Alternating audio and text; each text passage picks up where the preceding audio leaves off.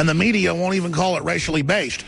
Can you imagine if a white guy went and did this? You, you, you never hear the end of it, which we didn't with the Charleston situation, which again, he said he was doing it because of the race war that he saw from his perspective from MSNBC.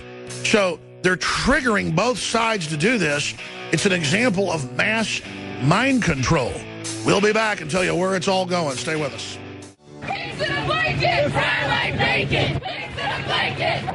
One of the chants heard from protesters is being called disgusting by rank and file St. Paul police officers. Police Federation leaders say the threatening refrain is divisive and dangerous and won't lead to improved police relations.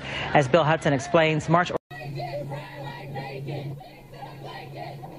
One of the chants heard from protesters is being called disgusting by rank and file St. Paul police officers.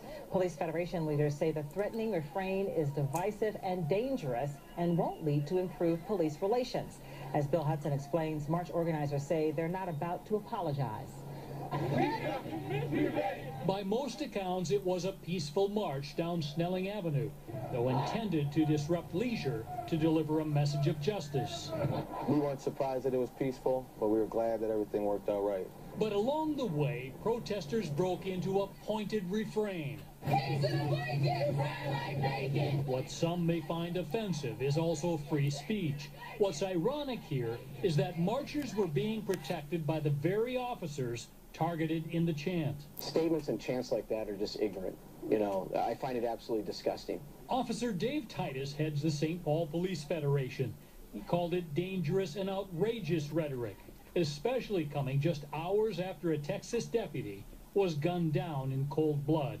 I don't think chanting uh, or, uh, you know, singing chants that are basically promoting killing police officers is peaceful. March organizer Rashad Turner says there's a big difference between words and actions. It definitely wasn't a threat. You know, I don't know if they would have received it differently if we'd have said maybe on a stick or something like that. But, you know, we're, we're out there chanting. We're using our voices. Rhetoric that doesn't appear to have stopped with a march. All right, that's enough. Out a couple of words or one. All right, and, and, and that is some of the mild stuff that's being pushed. But but here's the deal: these Black Lives Matter groups are useful idiots. They're run by the social engineers at the Ford Foundation, the Southern Poverty Law Center, the White House, Hillary. They're all connected. George Soros funds the whole thing. This is meant to create bad race relations. When you're in a restaurant or driving down the road, people beating on your car, blocking the road. I mean, we've had some of the Black Lives Matter thug types, black and white, show up and threaten to attack our reporters. Reporters have been attacked all over the country, including black reporters. It's an excuse to go out and act like thugs. And, and I'll just say it. You look at the actual Black Lives Matter group, not protesters against police brutality or problems. They're very legitimate. I'll be honest, it looks like a bunch of lazy, stupid, super overweight, dumb couch potatoes.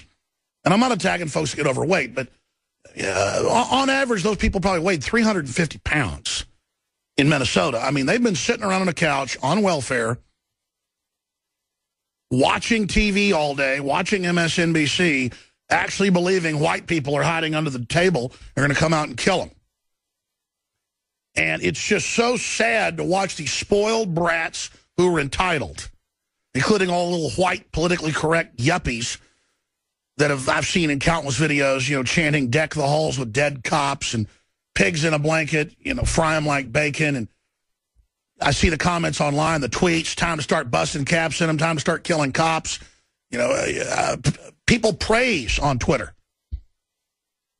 Watson's on vacation for the next week, but if our writers want to go to Twitter, that's a story right there. I saw it this morning and this weekend. I forgot to tell you, people praising the dead cop. That'll teach these cops how to behave. No, it won't. It'll make the cops become more militaristic, more paranoid. Again, the central government wants to start a race war in this country as I've been saying for many years, and they're going to start it right when the economic collapse starts to act like the collapse is caused by the riots, by the destabilization. They'll also probably start a foreign war right when the collapse comes. Notice what's happening off the coast of China. Notice what's happening in North Korea. Notice what's happening in Ukraine. Notice what's happening in Georgia right now. The world is moving into chaos by design. And that's why I get so upset. We need to stop this. This is stupid. All lives matter and all black lives matter.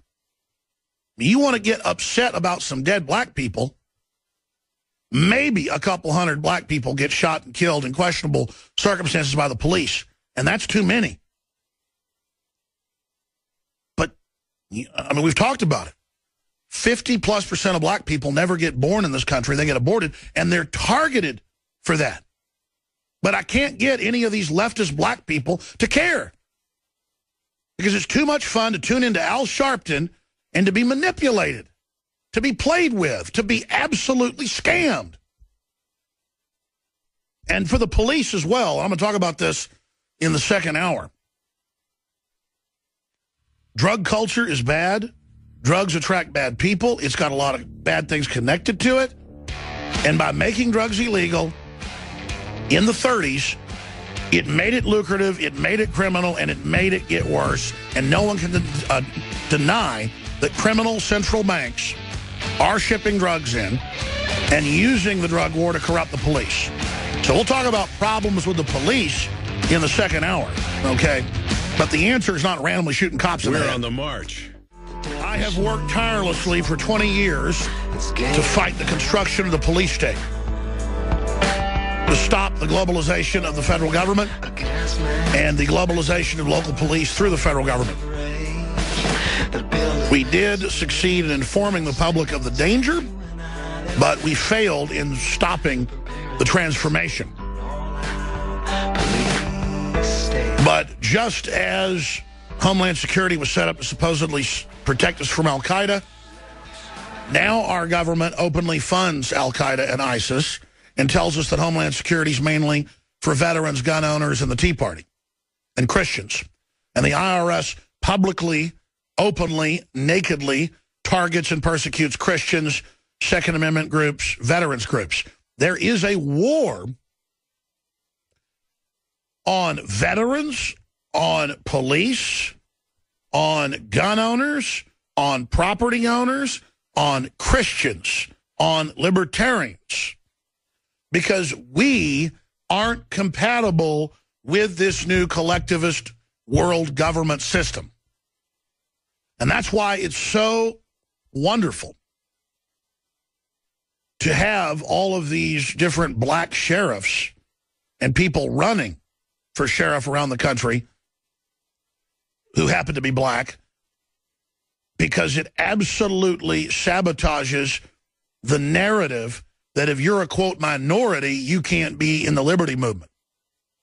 Plus, I've heard this particular man running for sheriff down in Houston give a speech.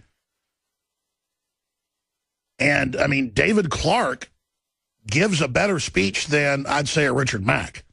It's not because they're black. It's because they really get what's going on and they come across really strong. Because if we ever get the people out there that love liberty together, it's over for the globalist. And, and I know that's obvious, but that's why they're pushing racial division. It's so disgusting how, how, how naked it is. The word is naked. It's so obvious they're doing it. They admit they're doing it. It's so diabolical. It's criminal. It is sedition to spend $33 million in Ferguson alone in the last year and a half.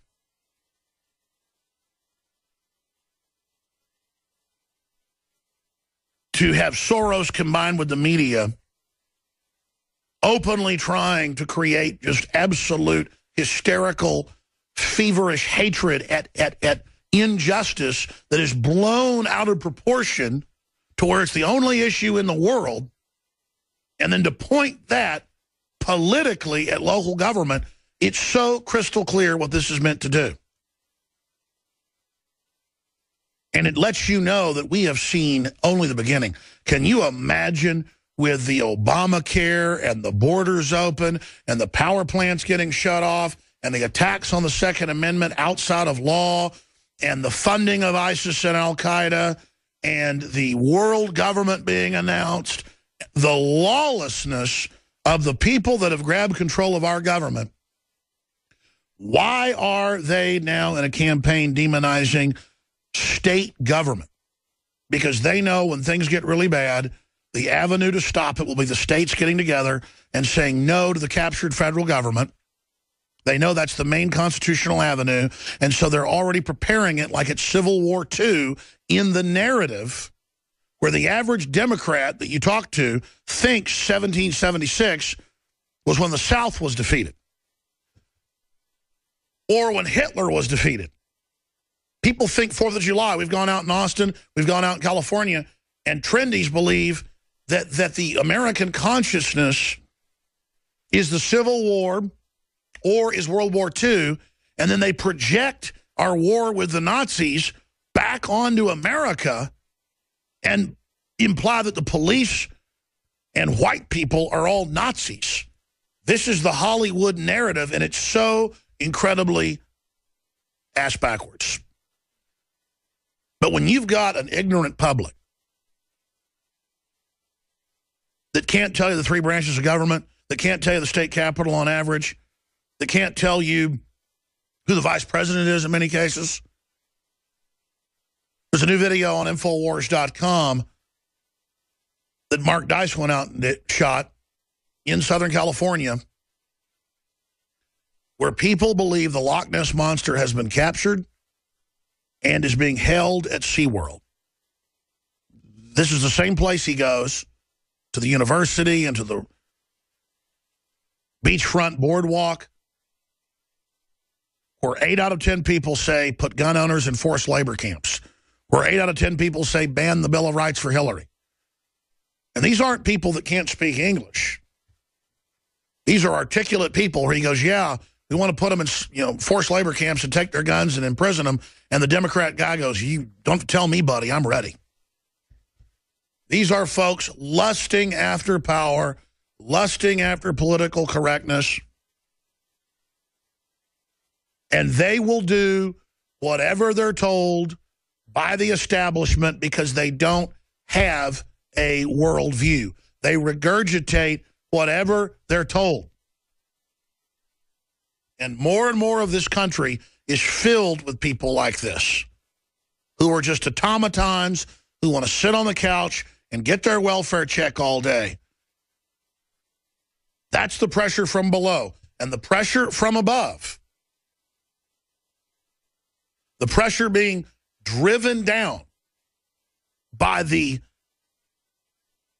less than one-tenth of 1% of the ultra-rich to play the giant unwashed mass off against the liberty, the property, the engine of freedom that's left in this country. This is a consolidation war. And it's so essential for viewers to understand this is not talk. This is not hyperbole. This is not talking points or rhetoric. I do not have the vocabulary to describe to you how real this is and how diabolical this is and how serious this is. The globalists plan to bring in another 30, 40, 50 million illegals, baptize them into socialist communist ideology, Bill Ayers, Bernardine Smith, Saul Alinsky ideology. They will stage terror attacks. They will blame it on the liberty movement. And they will have a purge, and they will arrest hundreds of thousands of veterans, police, patriots, you name it, if we don't get involved and get aggressive, that's where they want to take us. They say they want to arrest us. They say they want to come after us. They say they want to kill us. And this happens in most other countries when they become corrupt and collapse. Why then don't people understand it's happening here? They hate bitter clingers. But if we use their attack to wake people up, we can rally humanity and absolutely defeat them politically. And we're on the verge of that right now. They can feel it. They can see it. That's why you're seeing a bum rush to the finish line, pulling out every stop. And we can't be mad at these zombies that think the Loch Ness Monster was captured or who don't know what the 4th of July is. Almost everyone he talked to, what's 4th of July? It's when we seceded and then defeated the South.